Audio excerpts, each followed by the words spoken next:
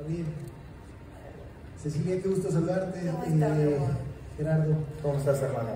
Bien, Luis Ortega de Posta, qué gusto saludarlos. Eh, la fama es muy padre, ser famoso en televisión, en redes, eh, en la colonia incluso, ¿no?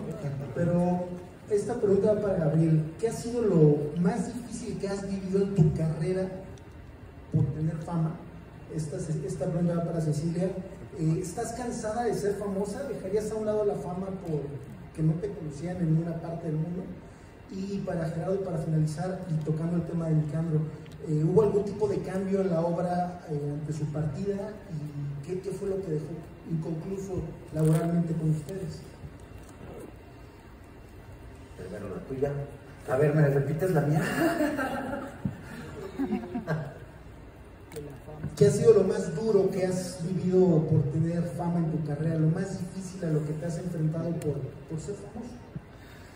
Pues eso, lo que ya dije, ¿no? El, hecho de que me hayan, ahora sí que inventado o, o- o que hayan dado por hecho que yo era el papá de un bebé que no era mío. Eso fue una época bien complicada para mí. Fue un año desde que salió la portada de la revista hasta que se comprobó que ese bebé no era mío.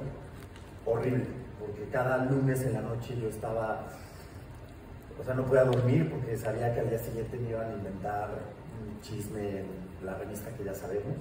Y creo que me sacaron como ocho portadas este, de- del mismo tema, y que finalmente paró por una demanda que puse ante la revista que llegó inclusive hasta la Suprema Corte de Justicia y sacaron el fallo a mi favor. Y fue bien complicado, fue durísimo, durísimo. Cada, cada lunes en la noche era de verdad así de no, no dormir hasta las 12 de la noche, ya ver si salía la revista o no salía la revista y explicárselo a mis hijas, ¿no? sobre todo a Alicia, que era la mayor en ese entonces, que ya entendía, Miranda estaba muy chica todavía, pero explicárselo a, a tus hijos es, es complicadísimo y sobre todo en una cosa tan delicada. ¿no? Entonces yo creo que eso ha sido lo más difícil. Llegado el fallo, ¿encontraste paz en ti? ¿Cómo? Llegado el fallo de la Suprema Corte, ¿encontraste paz, tranquilidad? Sí, la verdad sí, porque me dieron la razón y, me- y la verdad salió a relucir y, y las cosas se aclararon hasta cierto punto, pero ya, ya había muchos daños colaterales. Pero bueno, es el precio de la fama. es que aquí creo que es bien, interesante, ¿no? Y es de lo que habla, habla un poco la obra, que como dices, es va de la mano. Una cosa es ser actor, una cosa es ser comediante, conductor, conductora, deportista, y la otra cosa es ser famoso. Son dos cosas completamente diferentes, pero que van de la mano. Entonces tienes, tienes que aprender a vivir con eso, ¿no? Y a veces es muy bonito porque lo- el reconocimiento de la gente es precioso. Y a mí, uno de mis mejores amigos en este medio Eduardo Santamarina, siempre me dijo, malo cuando no te pidan una foto. Entonces, cada vez que te piden una foto, hay que darla con mucho gusto porque pues, la gente es lo que quiere, ¿no?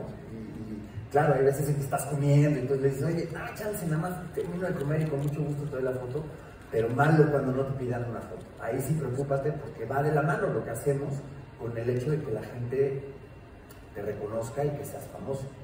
Sí, claro. Te saluda Pati Cuevas. Antes que nada, eh, quiero agradecerte porque siempre has sido como muy empático con la prensa, siempre afrontas los cuestionamientos, eres educado. Y eh, me llamó mucho la ¿Le atención. pueden prestar el micrófono, por favor? Por Sí. favor, por favor.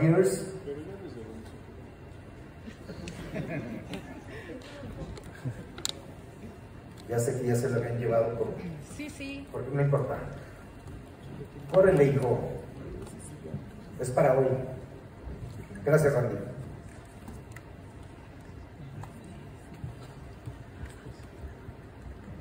Gracias. Listo. ¿Está prendido? No. Ay, no veo. Le aprietan el botoncito. A ver, es que ya. Listo. Bueno, te comentaba que siempre has sido muy empático, muy educado, Gabriel, y me llamó mucho la atención que hace rato comentaste que la prensa generalmente tergiversa las cosas. Esto te lo cuestiono porque recientemente Geraldine hizo declaraciones en la Casa de los Famosos retomando este tema de la supuesta infidelidad y evidentemente pues teníamos o tenemos que preguntarte qué opinas al respecto porque era un tema que tal vez estaba archivado pero se volvió como a desatar dimes, diretes, hate en las redes.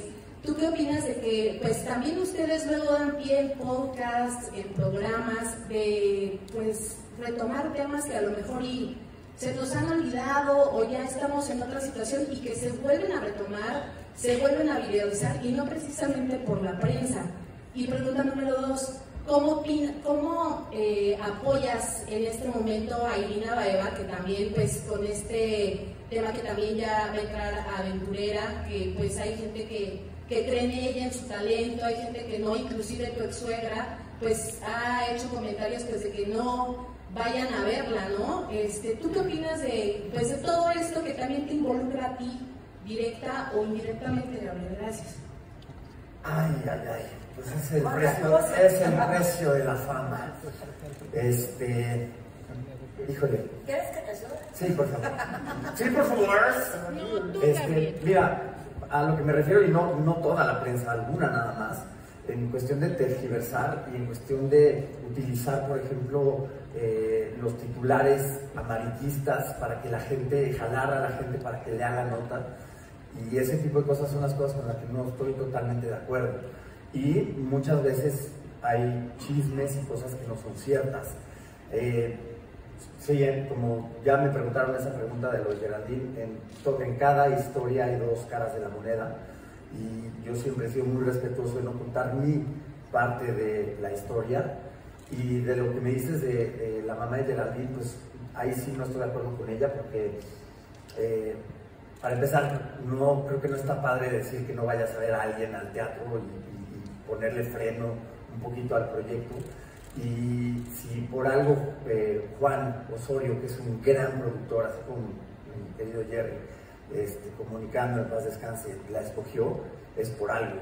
Y creo que también va a ser un gran papel y, y yo les digo y les pido que por favor pongan que vayan a verla. Gabriel, perdón, eh, nada más para aclarar porque creo que se tergiversó esa parte. Eh, Rosalba había mencionado que el día del estreno tú no fueras porque le ibas a quitar foco a, a Irina. Eso fue lo que ella declaró. No, pero nosotros Sí, sí, eso es lo que dijo, pero pues, no, no le veo sentido, la verdad. No, no, no, no, no estoy de acuerdo con lo que dijo porque pues, no tiene, no tiene sentido. O sea, si voy yo, va, van a ir muchos actores y va a ir mucha gente conocida. Este, no, tengo, no, no tendríamos por qué quitarle foco a, a- a Irina en ese sentido. Gracias. con tu eh, bueno, vida personal, se podría decir con tu último divorcio o con tu eh, vida amorosa actual. Pues es el precio de la fama. y, y hablamos un poco de eso en la obra. De hecho, pues la obra es, eh, mm, pues no, no, no diría burlarse, porque no es la palabra, pero es pues hacer un poco Una parodia, ligero, una parodia. una parodia de lo que, de lo que nos ha pasado, ¿no? Y, y- y sí, finalmente, pues en mi particular caso, me pasaron muchas cosas que me llevó a, este, pues, a un divorcio, ¿no? Y, y- y- y es como, como repito, somos personas, tenemos una vida familiar, tenemos hijos, tenemos este, una intimidad que, que por ser figuras públicas la gente piensa que, que- no la tenemos, y sí la tenemos. Y, eso lleva a consecuencias, pues a veces buenas y a veces malas. ¿no? Del otro lado, a mi querido Gabriel, eh, quiero eh, cuestionarte si en algún momento todos estos escándalos mediáticos eh, te han lastimado y más sobre estas plataformas que de repente quienes han sido víctimas de los videos íntimos que se han filtrado y que no son erradicados, eh, si te sumarías a esta presunta ley que están intentando hacer para que todo el contenido en Internet desaparezca siempre y cuando no esté autorizado. Gabo. Eh, sí, sí, Tocayo, la verdad es que han, han sido situaciones bien difíciles, o sea, como, como decimos, somos personas. A mí, híjole, me estaban este, haciendo responsable de una paternidad que no tenía nada, absolutamente nada que ver. Entonces imagínate explicarle eso a mis hijas, ¿no? Y bueno, finalmente la verdad salió a relucir, pero hubo una época en donde se especulaba que el hijo de ya sabemos quién era mío, cuando nada que ver. Y demandé a una revista por eso, porque se me hizo una cosa muy grave, o sea, no estás hablando de un chismecito, estás hablando de que me están achacando una paternidad de alguien que no, no tengo nada que ver y, y explica eso a tus hijos. Y, bueno, finalmente, como digo, la, la verdad salió a, a, relucir, se hicieron estas personas pruebas de paternidad y salió como, como era, ¿no? Eh, con el tema de, de, del video también hacemos este, burla, hablamos un poco del video y, y bueno, ya, ya, lo superé, pero realmente fue pues, es una, un, un, dolor a tu intimidad fuertísimo y claro que me sumo a, a, pues a, lo que están haciendo. Obviamente ta, también eh, levanté una demanda, pues, ahora sí que avalado por la ley Olimpia y, son cosas bien duras, porque digo, somos seres humanos y es como siempre digo, todo el mundo va al baño, pero nadie quiere que lo vea, ¿no? Es tu intimidad y cuando se ve violada es horrible. Y fue un año en donde no quería ni salir de mi, de mi casa porque me daba vergüenza. Pero bueno, luego me hicieron muchos memes que me hicieron sentir bien.